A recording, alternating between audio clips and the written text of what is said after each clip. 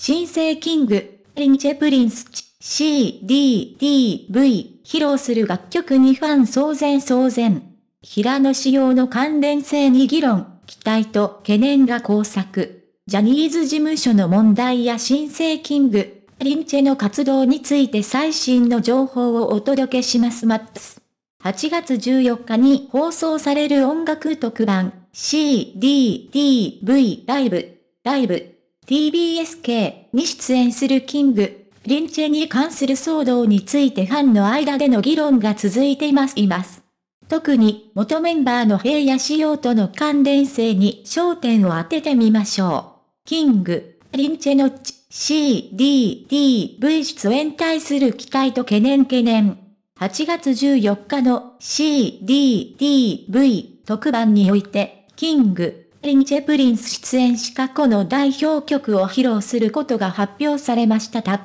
ファンにとってはメンバーのパフォーマンスを楽しみにする一方で、その中に平野仕様と関連のある楽曲が含まれることが賛否両論を読んでいます。平野仕様は以前、ジャニーズ事務所に所属しており、その中でクレバとの交流がありました。特に、一番という楽曲は、クレバが作詞作曲を手掛けたダンスナンバーで、平野志陽がこの曲の制作に深い尊敬の念を抱いていました。さらに、平野紫耀は KREVA のコラボレーション企画で登場し、その関係がファンに広く知られています。ファンの声、この C, D, D, V 特番において、平野紫耀が関わった楽曲を King & Prince が披露することに対するファンの意見は分かれていますいます。一部のファンは、平野紫耀が KREVA に対するリスペクトを持っていたことを考えると、二人のパフォーマンスに懸念を抱いています。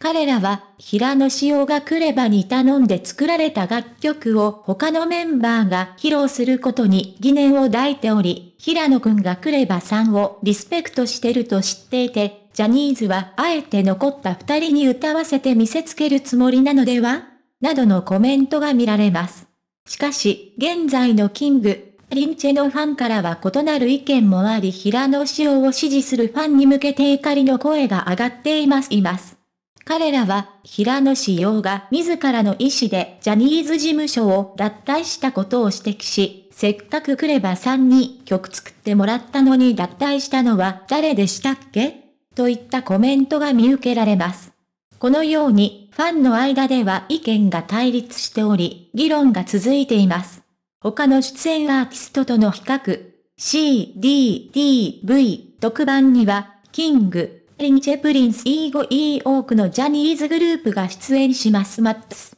その中でも、 King & Prince の出演が注目されており、